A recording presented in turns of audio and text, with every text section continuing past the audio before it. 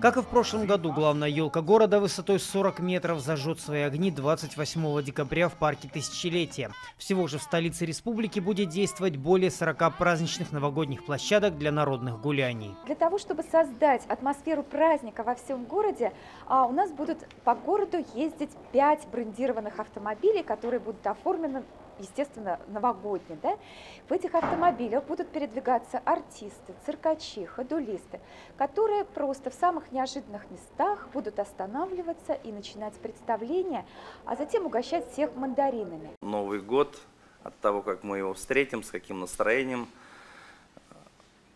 говорят в народе, всегда так год и пройдет. Поэтому просьба главы районов, еще время есть, усилить работу по новогоднему оформлению – пока еще много предстоит сделать. Одним из центров новогодних праздниц в первую очередь для туристов станет Старо-Татарская Слобода. 25 декабря здесь откроется новогодняя ярмарка сувениров и сладостей, которая будет работать вплоть до православного Рождества. На набережной озера Кабан появится каток. Кстати, о туристах. Уже сейчас загрузка казанских гостиниц на новогодние праздники по системе онлайн-бронирования составляет 90%. Есть и иностранцы, и очень много, так скажем, наших соотечественников.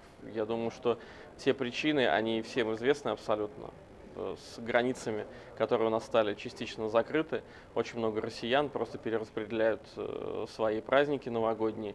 И, к счастью для нас, они выбирают нас как регион, где бы они хотели провести свои новогодние праздники. И именно внутренний туризм дает очень большое увеличение. Но есть и граждане и США, и европейских стран, и Турции в том числе. То есть очень много людей, которые приезжают к нам из-за границы также. По итогам этого года Казань занимает четвертое место в рейтинге самых популярных у туристов городов России. Причем это устойчивая тенденция. Город привлекает туристов в любое время года. Поэтому уже сейчас в мэрии озабочены, чем занять будущих туристов и тщательно продумывает план мероприятий на следующий год. Учитывая, что год кино следующий год, и э, следующий год не только год э, кино, это еще год водоохранной зоны.